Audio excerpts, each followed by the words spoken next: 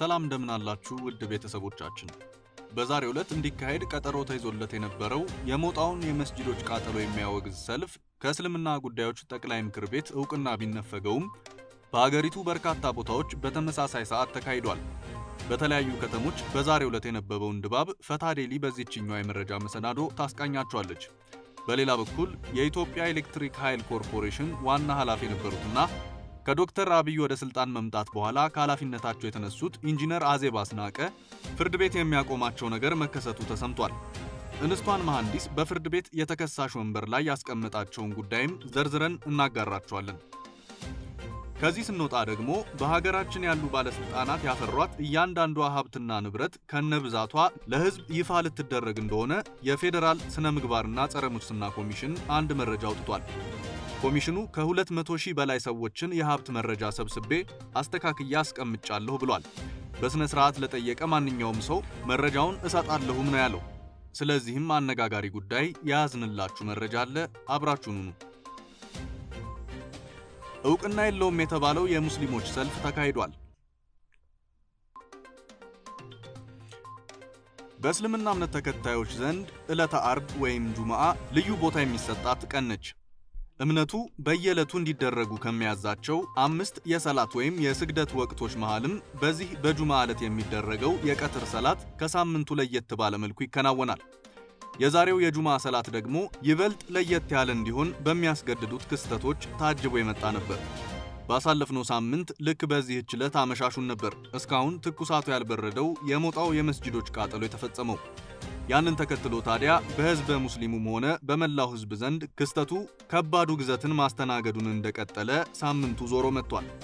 በማኅበራዊ ሚዲያውም ለዛሬ የተቀጠረ ሰልፍ የመኖሩ መረጃ በሕዝብ መሃል በሰፊው ሲንሸራሸር የቆየ ቢሆንም የኢትዮጵያ እስልምና ጉዳዮች ጠቅላይ ምክር ቤት ግን ይህን ሰልፍ እውቅና አልሰጠውትም፣ የዛሬው ጁምዓም ምንም የተለየ ነገር አይኖርም የሚል መግለጫ ሰጥቶ ነበር።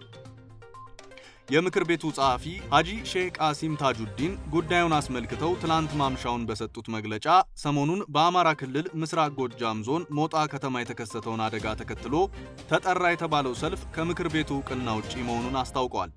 ስለሆነም ሕዝበ ሙስሊሙ በነገው ዕለት የሰላት ሥነ ሥርዓቱን እንደ ከዚህ ቀደሙ በተረጋጋ መልኩ እንዲያከናውን ነበር ያሳሰቡት። ምዕመናን የእስልምናን አስተምህሮ በመተግበር ለዘመናት የዘለቀውን የመቻቻል ባህል ሊጠብቁ እንደሚገባ ጠቁመው የሁሉም ሃይማኖት ተከታዮች መሰል ጥፋቶችን በማውገዝ ጥፋትን በጥፋት ለመክፈል የሚስተዋለውን ሁኔታ በቅንጅት ማስወገድ እንደሚገባቸው ጥሪ ከማቅረባቸው ውጪ የሰልፉን ጉዳይ እውቅና የሌለው መሆኑን ነበር የገለጹት።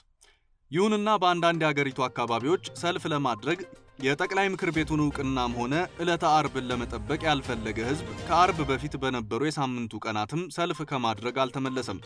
በጅጅጋ ከተማ በሰላም ተጀምሮ ወደ ማብቂያው አካባቢ በተፈጠረ ግርግር ሁለት ሰዎች ሕይወታቸውን ያጡበትን ሰልፍ ማንሳት ይቻላል። ታዲያ ዛሬ በቀጠሮ ስትጠበቅ የነበረችው ዕለት ስትደርስም በሀገሪቱ ዙሪያ ያሉ የእስልምና እምነት ተከታዮች ከተለመደው ሳምንታዊ የጁማ ሰላት በኋላ እውቅና የለውም የተባለውን ሰልፍ አድርገዋል። ለምሳሌ በመርሳ ከተማ በተደረገው ሰልፍ ጸረ ሰላም ኃይሎች ብሔርንና ሃይማኖትን ሽፋን በማድረግ ብጥብጥና ሁከት ለመፍጠር ያደረጉት ተግባር የሚወገዝ መሆኑ ተገልጿል።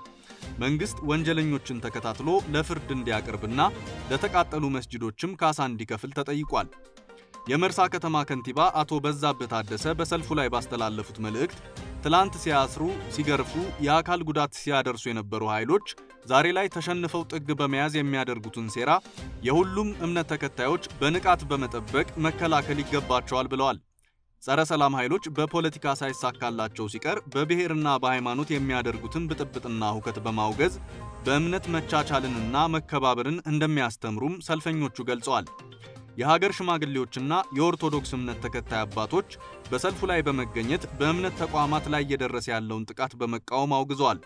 ሰላማዊ ሰልፉ ባለ ስምንት ነጥብ የአቋም መግለጫ በማውጣት ሰልፉ በሰላም ተጠናቋል። በተመሳሳይ በጅማ ቁጥሩ ከፍተኛ የሆነ ሕዝብ በጅማ ከተማ ስታዲየም ተገኝቶ ድርጊቱን አውግዟል።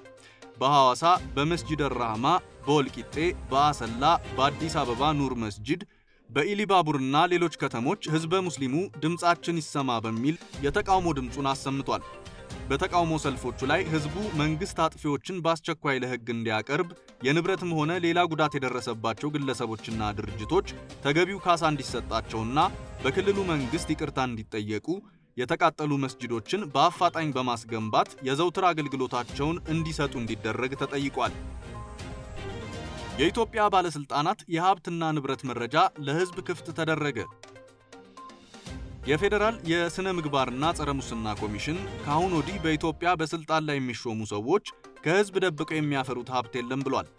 ከፌዴራል እስከ ክልል ከፕሬዝዳንትና ጠቅላይ ሚኒስትር እስከ ታች ኃላፊዎች ድረስ የምክር ቤት አባላትንና የመንግሥት ሠራተኞችን በአጠቃላይ የ2000 ሰዎችን የሀብት አይነትና ብዛት የሚዘረዝር የመረጃ መጋዘን የብዙ መቶ ሚሊዮን መረጃዎች ጥንቅር ነው።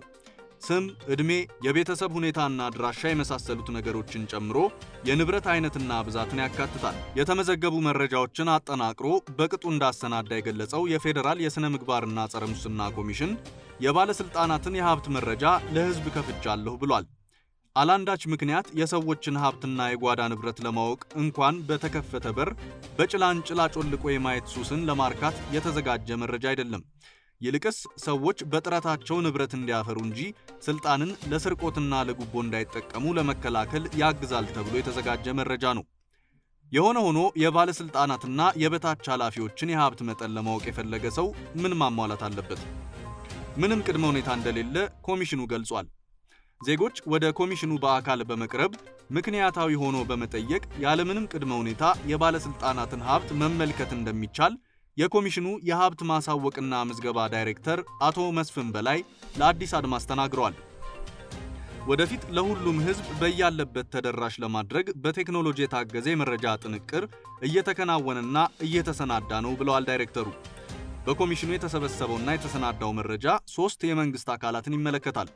አንደኛ የህዝብ ተመራጮች ማለትም የፌዴራል ፓርላማ፣ የአዲስ አበባና የድሬዳዋ ተመራጮች፣ ሁለተኛ የፌዴራልና የክልል የመንግስት ተሿሚዎች፣ ሶስተኛ ደግሞ ውሳኔ የማሳለፍ ስልጣን ያላቸው የመንግስት ተቀጣሪዎች፣ አማካሪዎችና ሰራተኞች ላይ ያተኮረ ነው የኮሚሽኑ መረጃ። በዚህ መሰረት ከ200 ሺህ በላይ ባለስልጣናት፣ የምክር ቤት አባላትና የመንግስት ሰራተኞችም ሀብት ተመዝግቦ በኮሚሽኑ የመረጃ ቋት ውስጥ እንደሚገኝ አቶ መስፍን አስታውቀዋል። ኢንጂነር አዜብ አስናቀ ተከሰሱ። የኢትዮጵያ ኤሌክትሪክ ኃይል ኮርፖሬሽን ዋና ሥራ አስፈጻሚ የነበሩት ኢንጂነር አዜብ አስናቀ ክስ እንደተመሰረተባቸው ተሰምቷል። በዚህ የክስ መዝገብ የቀድሞ የብረታ ብረትና ኢንጂነሪንግ ኮርፖሬሽን ምክትል ዋና ዳይሬክተር የነበሩት ኮሎኔል ሙሉ ወልደ ገብርኤልን ጨምሮ 50 ሰዎች ይገኙበታል። ክሱ የተመሰረተው ከታላቁ የህዳሴ ግድብ ግንባታ ጋር ተያይዞ በተካሄደ የደን ምንጣሮ ሥራ ጋር ተያይዞ ነው ሲል ኢዜአ ዘግቧል። ኢንጂነር አዜብ አስናቀ በነሐሴ ወር 2010 ዓ.ም ከኃላፊነታቸው መነሳታቸው ይታወሳል። ኢንጂነር አዜብ አስናቀ ወደ ኢትዮጵያ ኤሌክትሪክ ኃይል ዋና ሥራ አስፈጻሚነት ከመምጣታቸው በፊት የግልገል ጊቤ 3 የውሃ ኤሌክትሪክ ኃይል ማመንጫ ፕሮጀክት ሥራ አስኪያጅ ነበሩ። 10 ዓመት የወሰደውና በ1.5 ቢሊዮን ዩሮ ወጪ ሲገነባ የነበረው የግልገል ጊቤ 3 የኃይል ማመንጫ ብዙ የግንባታ ሂደት ሳይጠናቀቅ ነበር የቀድሞ የኢትዮጵያ ኤሌክትሪክ ኃይል ኮርፖሬሽን የኤሌክትሪክ ኃይልና የኤሌክትሪክ አገልግሎት ተብሎ ለሁለት ሲከፈል የኃይሉን ዘርፍ በዋና ሥራ አስፈጻሚነት ኢንጂነር አዜብ አስናቀ የያዙት።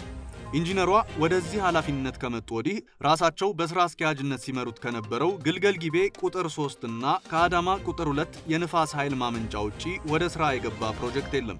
ኢንጂነር አዜብ በ2006 ዓ.ም ወደ ኤሌክትሪክ ኃይል ሥራ አስፈጻሚነት የመጡት በወቅቱ በምክትል ጠቅላይ ሚኒስትር ማዕረግ የፋይናንስና economic cluster አስተባባሪና የመገናኛና ኢንፎርሜሽን ኮሚኒኬሽን ቴክኖሎጂ ሚኒስትር በነበሩት ዶክተር ደብረጽዮን ገብረ ሚካኤል ግፊት እንደሆነ ይነገራል። እሳቸው ወደዚህ ኃላፊነት ከመጡም በኋላ በኃይል አቅርቦት ይህ ነው የተባለ ለውጥ በሀገሪቱ ላይ አልመጣም ሲሉ ብዙዎች አስተያየት ይሰጣሉ።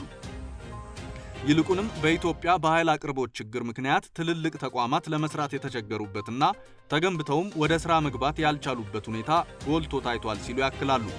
በሌላ በኩል በኢንጂነር አዜብ የአመራር ብቃት ላይ ጥያቄ የሚያነሱ ጥቂት አይደሉም። ይህም ብቻ ሳይሆን ተቋሙን ከህወሓት ተጽዕኖ ማላቀቅ እንዳልቻሉ ይነገራል። እዚህ ጋር የታላቁ የኢትዮጵያ ህዳሴ ግድብ ውሃ የሚተኛበት 180 ሺህ ሄክታር ስፋት ያለው መሬት ላይ ደን እንዲመነጠር ኢንጂነር አዜብ ከሚመሩት ተቋም የህወሓት ጀነራሎች የሚመሩት የብረታ ብረትና ኢንጂነሪንግ ኮርፖሬሽን ያለምንም ጨረታ ውል ያገኘበት ሁኔታ ጥያቄ የተነሳበት ጉዳይ ነው። አስገራሚው ነገር ሜቴክ የምንጣሮውን ገንዘብ ከተቋሙ ከተቀበለ በኋላ ስራውን በኮንትራት ለቀድሞ ታጋይ ቤተሰቦች ሰጥቷል። እነዚህ ታጋዮች ደግሞ ውሉን ለወጣቶች ሰጥተው በዚህ መሃል ከሜቴክ ተወስዶ ታች ድረስ በወረደው ገንዘብ እንዲሁም በተከፈለው ገንዘብና በተመነጠረው ደን መሃል ልዩነት መጥቶ ገንዘብም ባክኖ ደኑም በቅጡ ሳይመነጠር ቆይቶ ነበር። የግድቡን የሲቪል ስራ የሚሰራው የጣሊያኑ ሳሊኒ በክፍያ እጥረት ምክንያት ስራውን መስራት አቅቶት እንደነበርም ተናግሮ ነበር። በሌላ በኩል አስተማማኝ ያልሆኑና ሜቴክ አምርቻቸዋለሁ ያላቸውን ትራንስፎርመሮች እንዲገዛ ሜቴክ በኢትዮጵያ ኤሌክትሪክ ኃይል ላይ ተጽዕኖ ይፈጥር ነበር። ውድ የፈታ ዴሊ ቤተሰቦች በዚህ ችኛው የመረጃ መሰናዶ የያዝናቸው መረጃዎች እነዚህ ነበሩ። በሌላ የመረጃ ማዕድ ደግመን እስክንገናኝ ቸር ቆዩን።